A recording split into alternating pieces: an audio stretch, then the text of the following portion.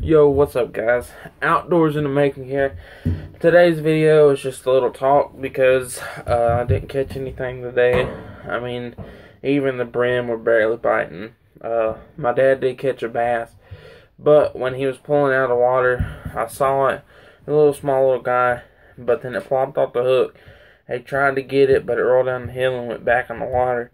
And he's going to give it to me to make a video on, but then uh, that didn't happen because it went back in the water. And yeah, uh, I think he, he caught it on a shaky head. It's just a plastic worm with that.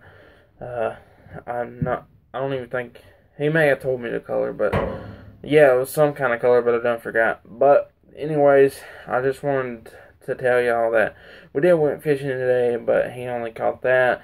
Didn't get it recorded, and uh, I didn't catch anything. Brent barely biting. I don't know what was up with them today. I mean, I had a few good uh, hits on night crawlers, but um, I just couldn't get them to get on the hook. Tomorrow, we're going to take out some traps, set them out, see if there's any crawfish. We're going to set them back in a cove. It's more shallow back there. The place where I was fishing at, uh, like two videos ago or, or three.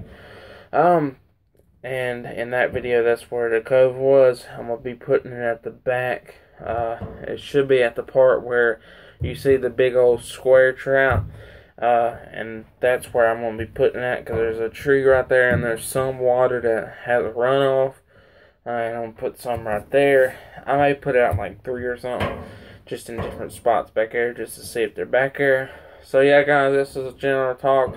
I'm gonna uh, name the title uh, fish talk um, so yeah, guys, hopefully you enjoyed. Please leave a like, comment, and don't forget to subscribe. And I'll see y'all tomorrow. Peace.